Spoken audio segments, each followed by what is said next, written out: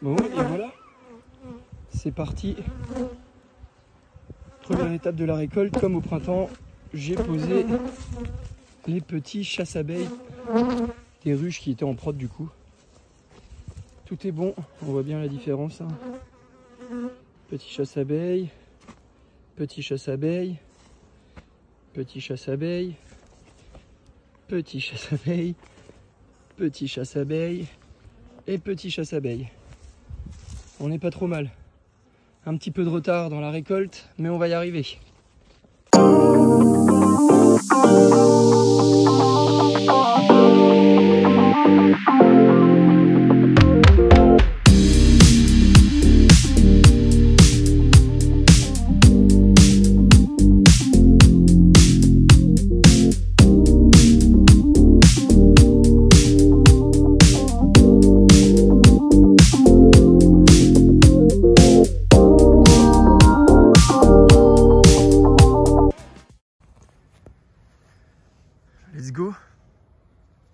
Cette belle matinée matinale, on va récupérer les hausses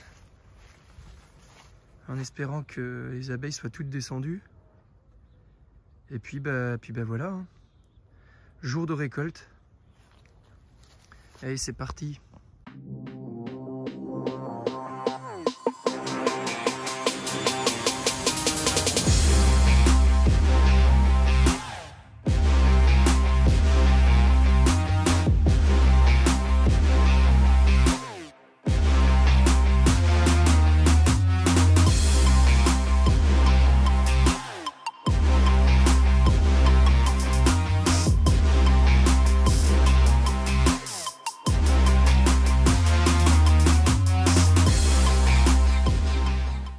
ça c'est fait. Les hausses sont récupérées. Je vais récupérer les chasses abeilles. Toutes les ruches sont maintenant sans, sans hausse. Je passe, je passe à l'extraction. Et puis bah, une fois que la récolte est faite, il faudra euh, faire un petit traitement flash rapide et puis euh, la division sur 7 cadres. Parce que normalement je divise. Je divise pas, c'est pas une division, euh, je rétrécis le nombre de cannes de chaque colonie et je mets les ruches sur cette cadre. Mais on verra ça plus tard. Allez, let's go à la miellerie maintenant. On est au calme, c'est parti. Extraction en cours. Des beaux petits cadres. Ils sont pas tous beaux comme ça. Mais il y a des beaux petits cadres. Partie des operculations. Partie extraction. On est prêt, on est prêt.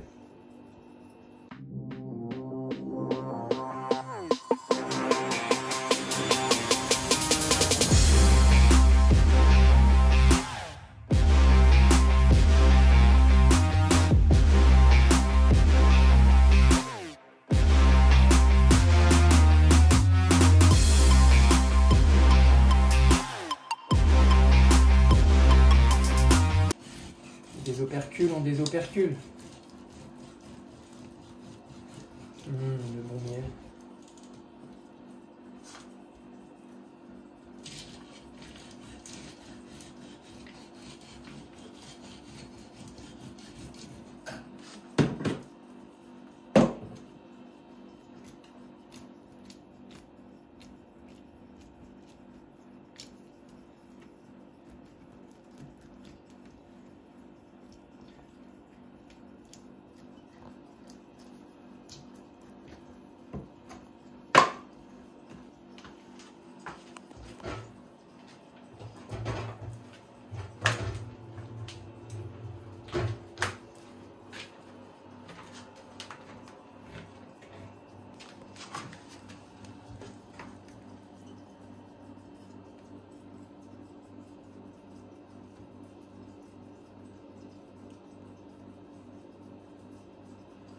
Le bon petit miel.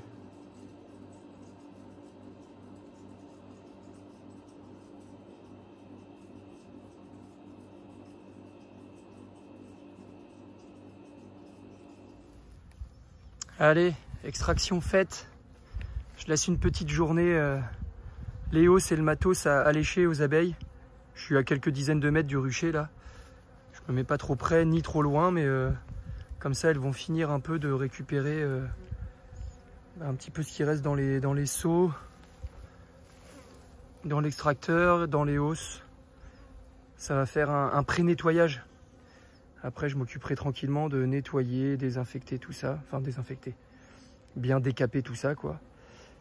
Et puis, bah, après, on stockera les hausses euh, jusqu'au printemps prochain.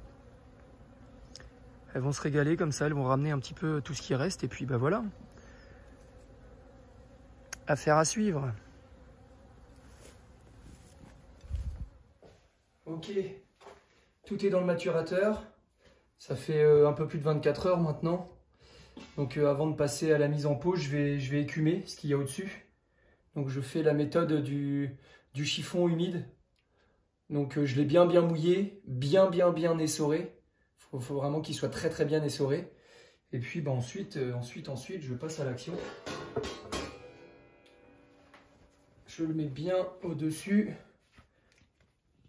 Voilà, je vais descendre au fur et à mesure. Il faut bien que ça touche les bords. Voilà, c'est pas grave s'il y en a un petit peu. Voilà. Je vais bien le faire toucher le miel. il faut bien que ça touche le bord. Pas hésiter à tapoter. Ça, ça va permettre d'en retirer le plus possible. Voilà. plus facile quand c'est bien au bord, hein, mais... Euh... Toc, j'avais pas préparé le petit seau pour mettre le chiffon directement dedans, sinon je vais en mettre partout. Voilà. Je vais le mettre juste ici, comme ça, ça va être plus simple. Et là, après, une fois que c'est bien, bien tapoté, eh bien, on vient retirer. Voilà. Ça va en enlever une bonne partie. Faut pas hésiter à le refaire une deuxième fois s'il y a besoin. Toc. Et voilà. Parfait. Alors, il en reste un petit peu, euh, mais c'est pas très grave. De toute façon, je vais recommencer demain avant de, mettre en pot. Donc, je retirerai, euh, je retirerai ce qui reste. Aujourd'hui, c'est mise en pot. Tout est prêt. Il n'y a plus qu'à. Les capsules, les pots, la petite plateforme pour que j'en mette pas partout. Et puis, bah, il n'y a plus qu'à. Il n'y a plus qu'à, il n'y a plus qu'à. Je refais un petit, il y en a un petit peu qui est revenu depuis hier. Donc je réécume un petit coup. Pareil qu'hier, je mets mon petit là, mon petit linge léger, petit linge, petit chiffon, petit chiffon humidifié. Je descends bien, je vais bien sur les côtés, je tapote et normalement ça devrait bien se retirer cette fois. Un petit peu mieux qu'hier quoi. Faut pas hésiter à tapoter même au milieu. J'étais un peu trop doux hier. Voilà. Il y, en a, il y en a un peu moins épais qu'hier, donc là ça devrait très très bien partir. Enfin très très bien c'est un grand mot, mais en tout cas je devrais en enlever le plus possible. S'il en reste un petit peu sur les côtés, c'est moins grave. L'essentiel, c'est d'en enlever le plus possible. Et c'est parti.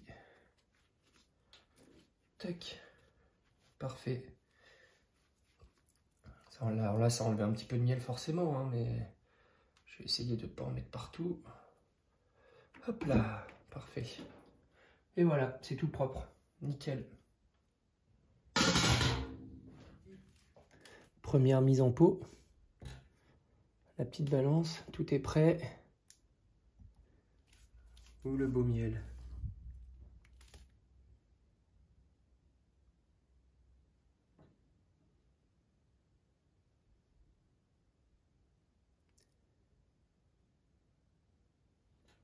C'est l'accomplissement ça, la mise en pot. L'accomplissement de mon dur labeur. la difficulté après là, il faut que je m'achète un, une petite sortie euh, un peu plus, un peu plus facile pour mettre en pot parce que, de, parce que de temps en temps ça coule un peu. Il faut être patient.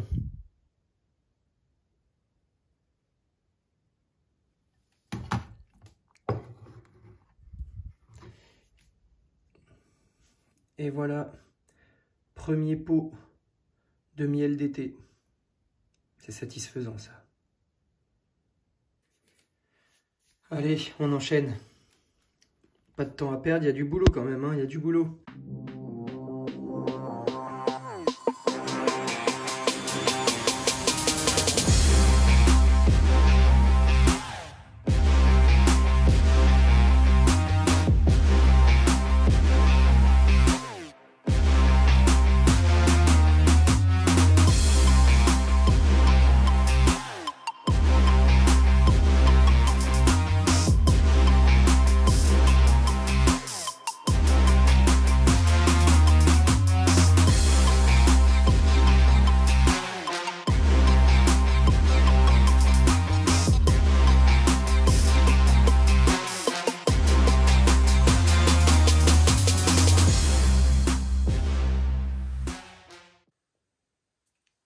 Allez, maintenant, on met les petits couvercles.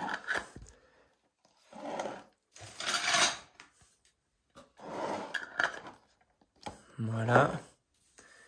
Et puis, ben, il n'y a plus qu'à stocker euh, tranquillement après ça et puis euh, à déguster. Hein. Allez, assez parlé, j'enchaîne.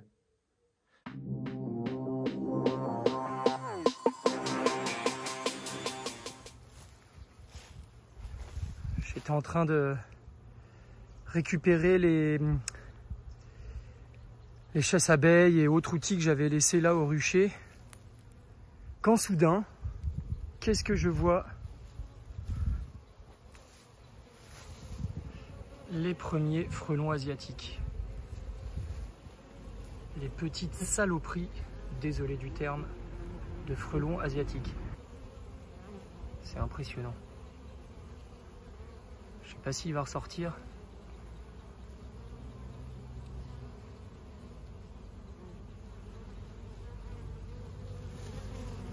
Quel fléau.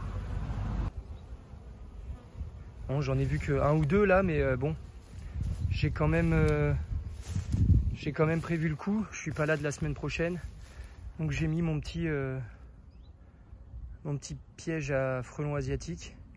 Il y en a un autre qui se balade là. Bref, j'ai mis le petit piège à frelons asiatiques. Il était beaucoup plus loin parce que j'en avais vu un peu plus loin euh, juste, avant que la, juste avant la période de froid. Euh, bref, là en tout cas, je l'ai mis avec euh, les petits tapas dedans. Petits tapas troués pour éviter qu'ils aillent se, noyer dedans et que ça moisisse pas trop trop vite. Donc je l'ai mis à proximité cette fois parce que bah, il n'y a plus le choix. Hein il n'y a plus le choix. Les petites ruchettes comme ça là qui sont un peu fragiles, euh, elles vont vite se faire, euh, se faire attaquer si je fais rien. Donc, euh, donc je mets pas encore les, les réductions de portes parce qu'il y a encore pas mal de mâles dans les, dans les ruches. Donc si je mets les portes, ils pourront pas, ils pourront pas partir. En tout cas, les abeilles pourront pas les faire partir. Donc j'attends encore un peu en espérant que d'ici là, il n'y ait pas de il n'y ait pas de grosses, grosses attaques de frelons, même si j'ai l'impression que là, ça y est, le, beau temps va arriver. On, va arriver à mi-août, euh, ben voilà, hein. j'en avais eu l'année dernière, j'en ai encore cette année. On va surveiller ça de près. Mais de toute façon, je parlerai de ce frelon asiatique dans un, dans un petit canap théorie, avec euh, le piégeage, etc. Hein. On va pas avoir le choix d'y passer. Hein. Bref, en tout cas, euh, récolte faite. Et puis ben voilà, maintenant on passe à la suite. La semaine prochaine, je visite les ruches pour les réduire sur 7-8 cadres en fonction de, la force de chaque colonie. Euh, et puis, et puis euh, avant ça, j'oublie un truc. Je vais faire, euh, je vais faire mon traitement flash du coup. Je ferai un petit canap théorie aussi, comme, le, comme pour le frelon asiatique, là prochainement sur, sur le petit traitement flash que je fais. Donc moi, je fais un traitement l'acide oxalique.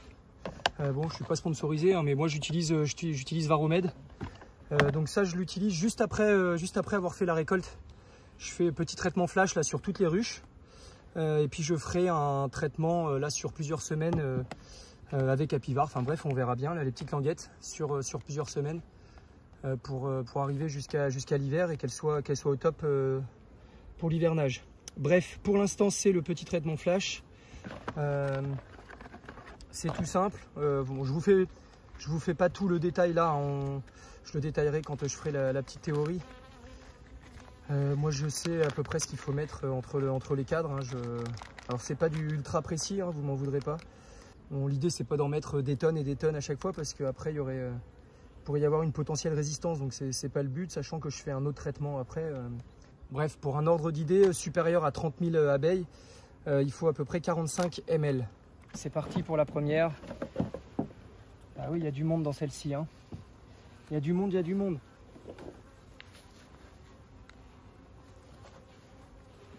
Allez, je vais rapidement. Je parlerai de toute la théorie plus tard. Hein. Celle-là, elle est, elle est très très très très très belle.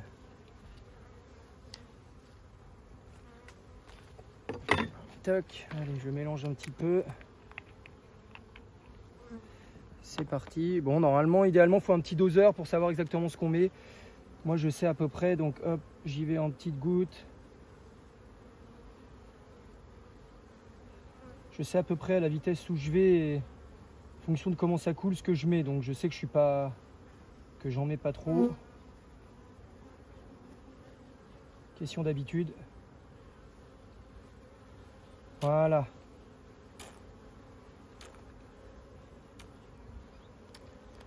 Tac, et voilà, c'est aussi rapide que ça. Donc je fais la même chose pour toutes mes ruches et puis, bah, puis je referme et puis je les embête pas plus. Hein. Je les embête pas plus. Je les ai déjà assez, euh, assez embêtés en récupérant les hausses, en les déstabilisant un peu. Là, elles doivent refaire leur, euh, leur petite réserve dans le corps, donc euh, c'est amplement suffisant. Allez, je passe à la suivante et à la suivante et à la suivante. On parlera de tout ça évidemment dans un canap théorie comme je l'ai dit. Bon et bien voilà, ça y est, la récolte est, faite, le matos est nettoyé, les hausses ont été léchées, les hausses sont rangées. Je vous ferai voir où est-ce que je les ai rangées, comment je les ai rangées pour éviter, euh, pour éviter la fausse teigne. On verra ça dans, une autre vidéo. Donc euh, vidéo forcément un petit peu plus courte cette semaine, hein. c'était euh, un peu la course. J'avais d'autres occupations, il hein. fallait pas que je laisse le miel euh, trop longtemps dans le maturateur, trop longtemps dans les hausses, hein, forcément.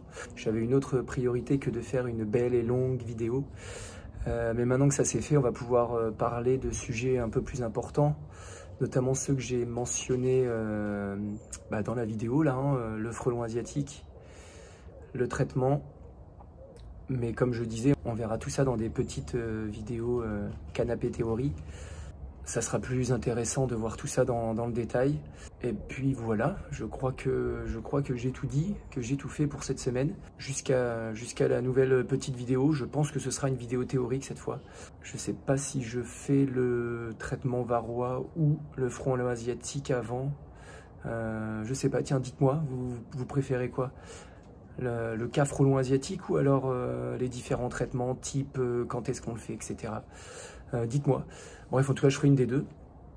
Et puis voilà, j'ai tout dit, hein. tout est dans la vidéo. Euh, le traitement flash que j'ai fait, je le, traiterai justement dans la, dans la vidéo Canap Théorie du, traitement. Hein. on verra pourquoi, comment, etc. Bref, voilà, j'ai assez parlé. Euh, petite vidéo, j'espère qu'elle vous plaira. Il me reste plus qu'à vous souhaiter un bon week-end, une bonne semaine. Et d'ici là, portez-vous bien. Allez, ciao, ciao